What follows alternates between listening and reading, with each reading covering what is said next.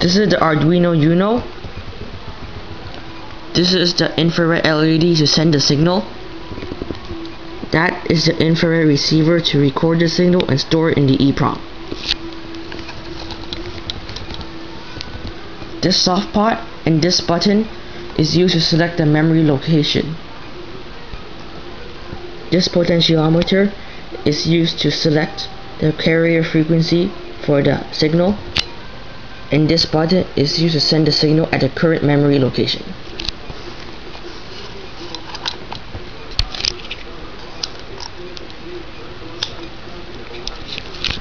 I have recorded the eject signal and power signal of this DVD player. I will now send the eject signal.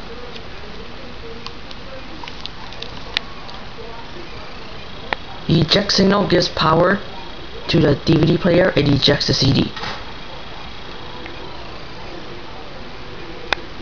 I will now change the memory location to the power signal.